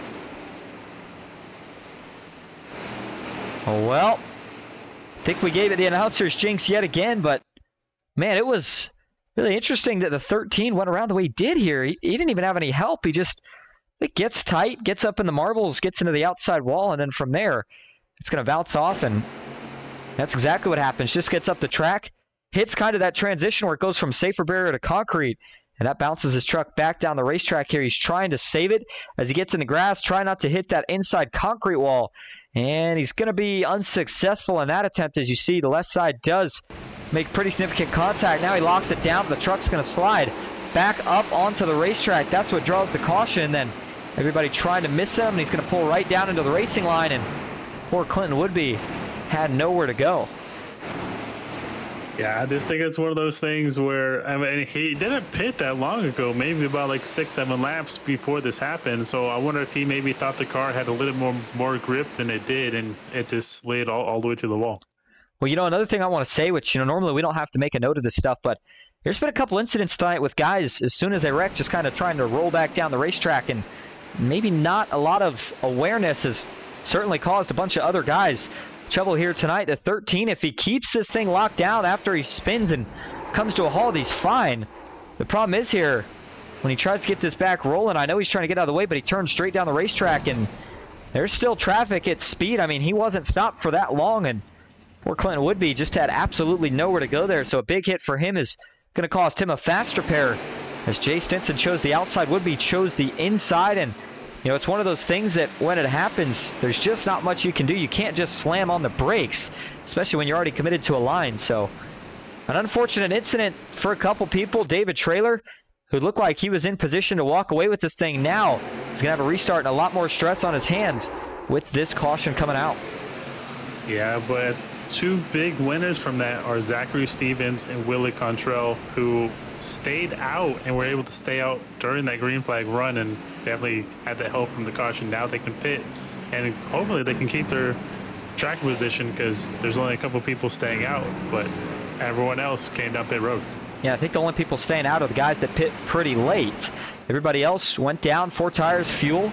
Well, looks like just about four tires and fuel here. Well, interestingly enough, maybe a, well, this is really interesting here because trailer still on the pit, so we've got a whole variety of pit strategies that we're going to see towards the end of this race.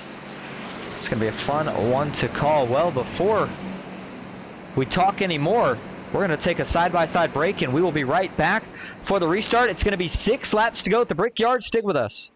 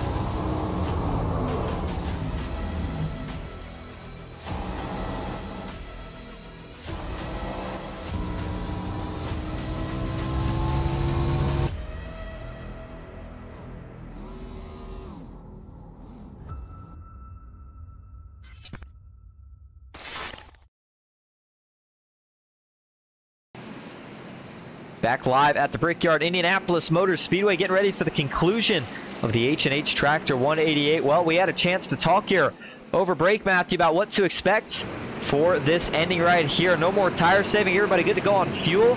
And now this is going to get crazy. All about a battle for the win. And we got a couple guys still looking for their first one of the season. Mark Beverly on the outside. Kevin Winker on the inside. Chase Greer, Keith Prince for Venom Racing, or excuse me, Chase Greer for Venom Racing, row two. And Ryan Gomes, Bill Hales in row number three. Here we go, potentially for the final time. Green flag back in the air at Indy.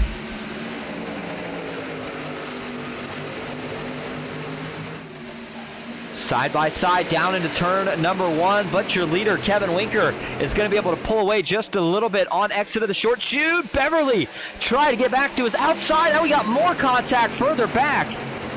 Is everybody it? We got two guys almost running the third lane up by the wall.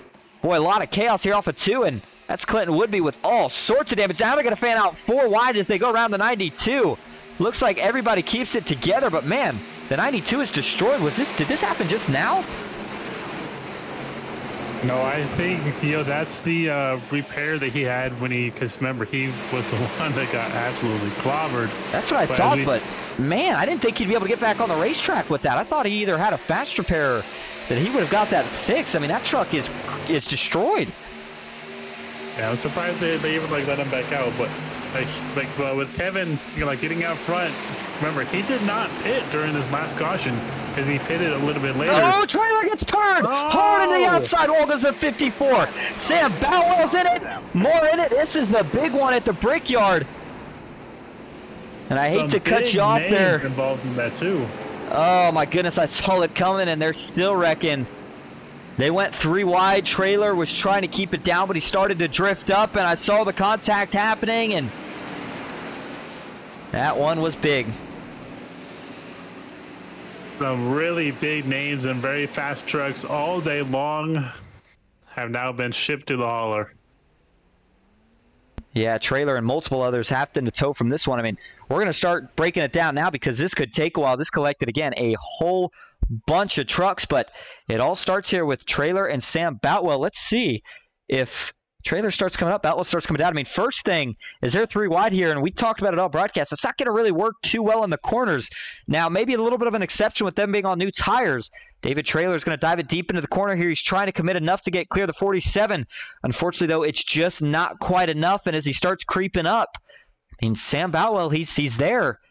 Trailer gets up into his left front, and then here's the huge hit for the 54. And the 47, he almost gets upside down.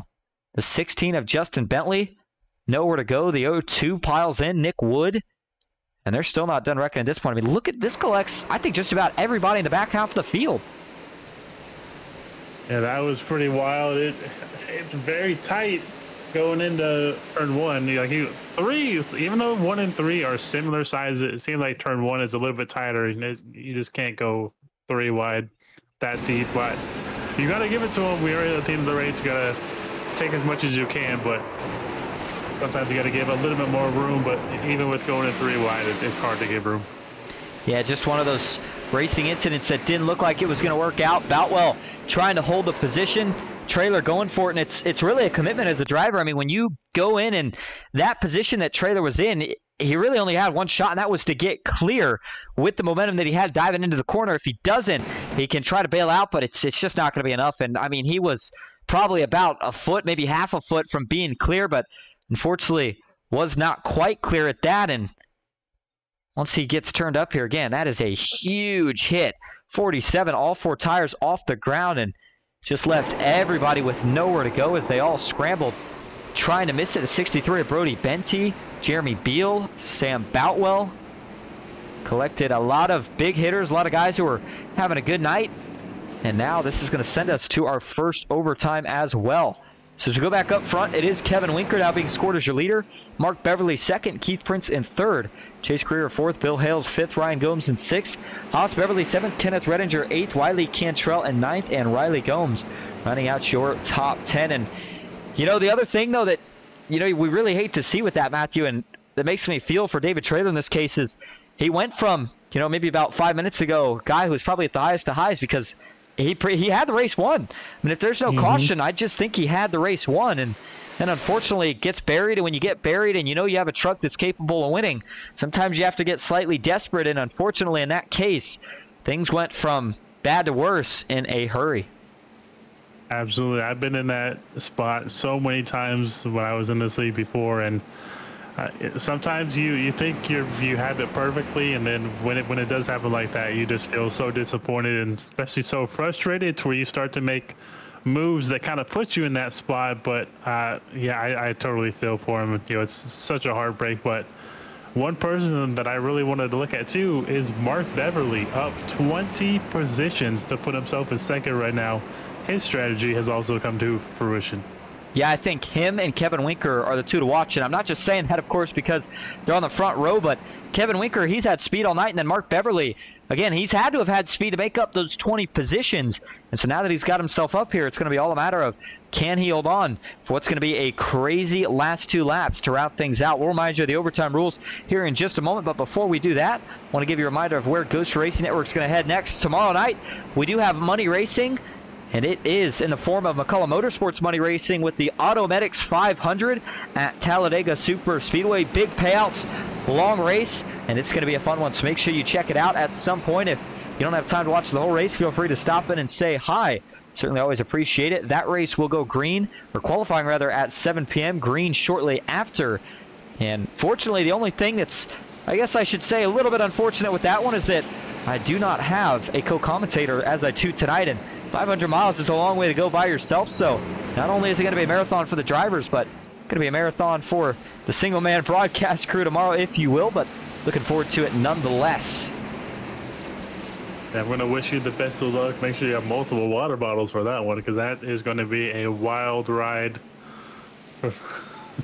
Yeah, it's certainly going to need quite a few, that's for sure. But as we get ready, put a green flag for this one. Overtime rules are as followed. If these guys can make it a lap under green to the white flag, this race will be declared official, and we will not have any more cautions. However, if they rack on that first lap and it draws out a caution, then we will rack them up and try it again. We can do that for a total of three attempts, this being the first of those three, so we'll have two more if they can't get it done this time. But Kevin Winker taking the outside, looking for some of the other guys here in the top five to really keep an eye on. But it's again, all this mix up and that big wreck that we just had there has put a lot of potential underdog picks towards the front of the field. Ryan Gomes still looking for his first win. Keith Prince, I don't know if I'd call him an underdog, still looking for that first win, but similar to what we see out of David Trailer, Mr. Consistency, and finds himself again just outside the podium. Looking to see if he can jump into it before the end of this race. All right, here we go. Pace car makes a left turn. Now potentially for the final time tonight, and it's time for overtime number one. Green flag is in the air. Two laps to go at Indy. Fanning out already, two wide, further back. Guys fighting even harder for track position, three wide now. And they're all going to have to get this thing sorted out here before they get to the back straightaway. That's where all the runs start to play out. Kevin Winker on the outside, Mark Beverly on the inside. Looks like Beverly was not quite able to hold on here. He's going to jump up in front of Keith Prince, but it's Winker who's looking to scoot away down the backstretch. Oh, they're three wide. Kenneth is going down the bottom, going three wide down into three. Whoa, it's going to be tight. Oh my goodness. Oh, up the track, they're wrecking. The seven hard into the outside wall. Is it just one? It is. Everybody else trying to miss, they do, so we're going to keep it green for now. We'll see if he can keep it off the track as we're going to be coming to the white flag. Kevin Winker in the lead. The 97 of Mark Beverly still in second. The gap starts to expand. Does the 97 have enough to get up there? He has 2.5 miles left to try to make it happen. He's going to need a lot of help from Kenneth Prince to get even get close to him. But but does Keith even help him, or does he go for the second place himself? Yeah, he's not going to really have much of a choice here. I think at this point, maybe he bails out, goes for second because it doesn't look like they are going to catch the 42 at this point. Just too much speed in the late run. Kevin Winker with just one more set of corners to go, and he will be crowned the Noma Truck Series winner. Looks like he's going to go through turn three clean. One corner to go down the short chute into turn number four. The 42. What a roller coaster of a night it was. Started out with speed, had to go to the back. Handling wasn't great through the middle, but at the end he got a break, and the handling is there now. First win of the season, and it's going to come at the yard of bricks. Kevin Winker wins it at Indy. They fan out three wide behind. It's a photo finish for second, but it goes to Mark Beverly and Keith Prince.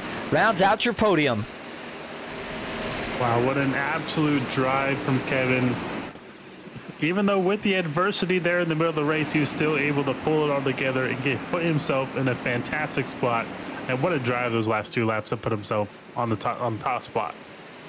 What a win indeed. Well, as he brings it around here before he celebrates, let's get a view of your results here for the night. By the way, that that wreck with the seven that didn't bring out the caution did put him towards the back of the pack. Wiley Cantrell finished 23rd officially, but thought for sure that was going to be another big one. We saw what almost looked like a similar situation to what got David Trailer in trouble, where it's all started with the three wide, but again, everybody was able to keep it clean. As Wiley Cantrell, I believe maybe has not finished the race yet. I think that's him that we're waiting on here, as he is still going to try to see if he can't lift this thing across the line. I just don't know if it's going to happen at this point. So while we await that, we are going to go up front where we await the celebrations from tonight's winner, Kevin Winker in the 42. That is one of the Asphalt Outlaw Racing drivers who we knew was going to be one of the big teams in contention for the championship, team championship here this season. And so far, they're off to a pretty good start they put another truck in victory lane here tonight.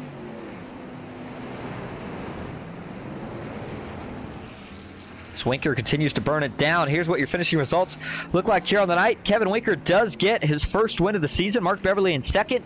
Keith Prince in third with Bill Hales and fourth. Chase Greer fifth. Haas Beverly in sixth. Kenneth Redinger finishes back in that seventh spot. Ryan Gomes in eighth. Ronnie Morrison in ninth.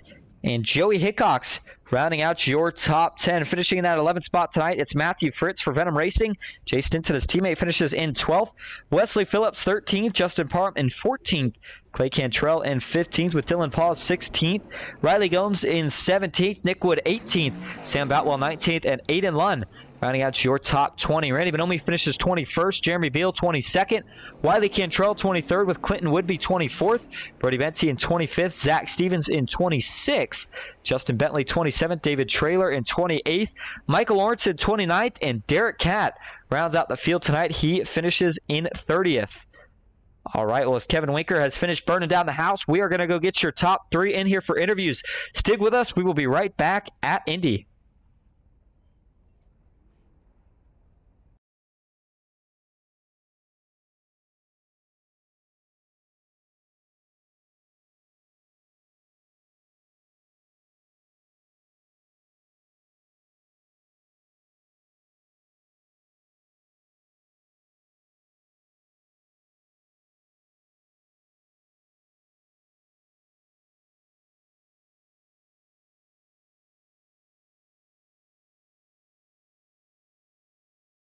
Welcome back to the Yard of Bricks. Going to start first tonight with your third place finisher, Mr. Consistency himself, Keith Prince. Keith, this is Austin in the booth. You got a copy?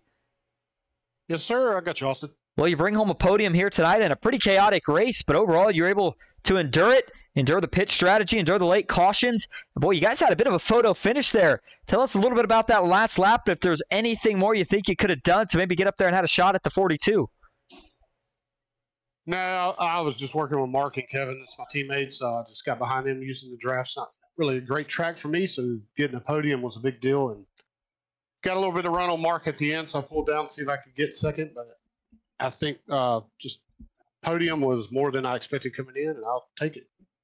Well, it's a great run to say the least. Now, you know when we you go to a track as a driver that you know you're not the best at, and you get a good finish, we know it creates a lot of momentum. Now, next week, we go into Michigan, a track that, of course, a lot more lanes are racing, a lot more aggressive racing, a little bit higher speed. How you feeling about your chances? Maybe go capture that first win next week.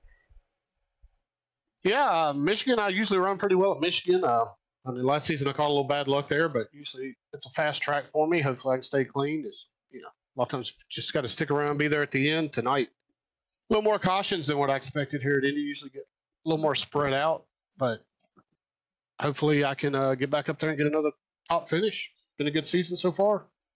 Certainly has. Well, before we let you head out tonight to go celebrate your podium finish, is there anyone you want to thank or shout out?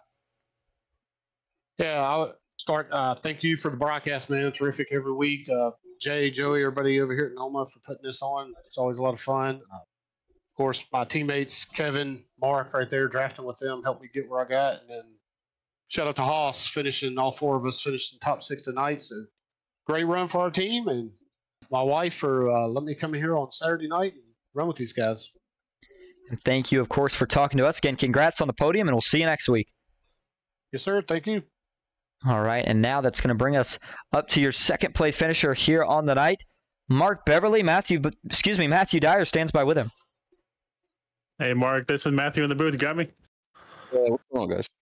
Uh, you, you started pretty deep in the field. You started 22nd. How were you able to get up to second place? Um, well, it looks like I didn't think I had a shot here just because it's hard to pass, but just got lucky with some um, wrecks happening in front of me, moving around those, dodging those, and then just staying out on some older tires and not getting tires when it looked like might be the way to go, but couldn't couldn't really pass. So just staying in front of people is clean air was king. Also, now being with your teammates up there at the front, did that make it like a lot easier too? Yeah, us three worked together there and just made a straight line. Can't really pass if you don't have a, have the draft. So we just kind of tried to stay in the draft and make somebody get around us. So that was the best thing we could think of. All right, awesome. Yeah, I know next week you know you guys are heading off to Michigan, with the, which is another track that you can can use teamwork to draft. Do you plan on doing the same thing with your teammate there?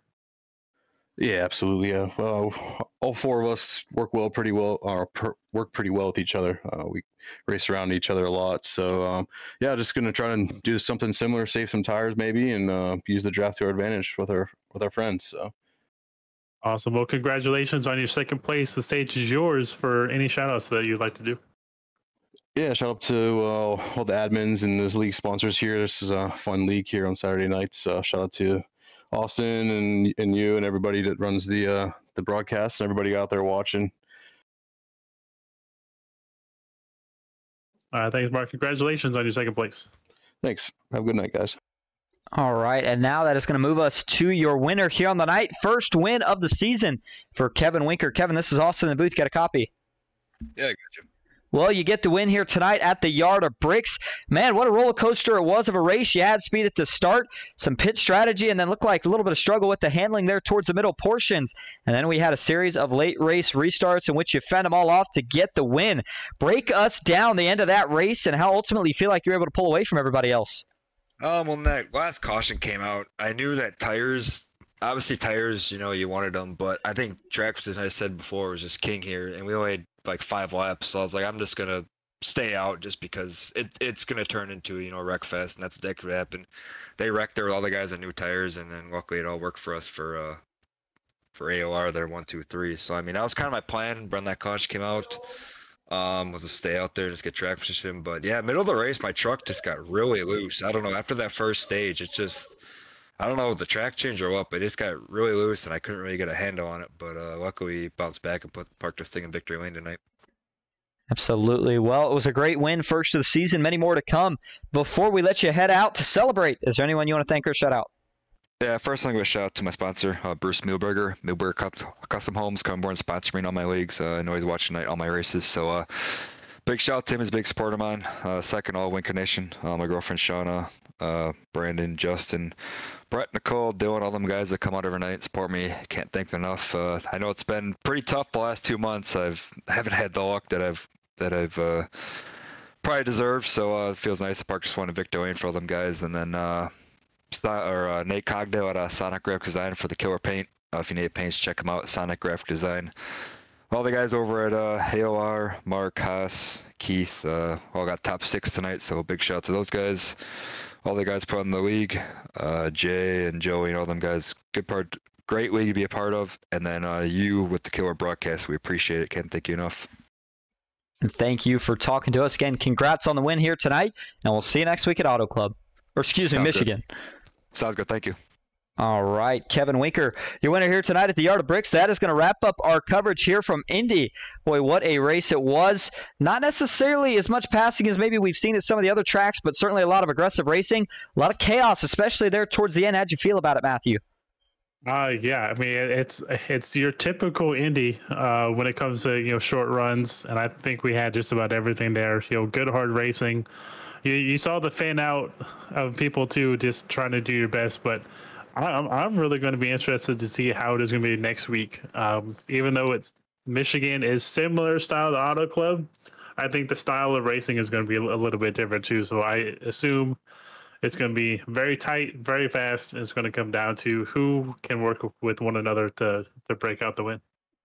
Sounds good. Well, that's going to wrap up the coverage here tonight. Thank you all so much for tuning in. I hope you enjoyed. And that's it for me, Austin Green and Matthew Dyer here on the Ghost Racing Network.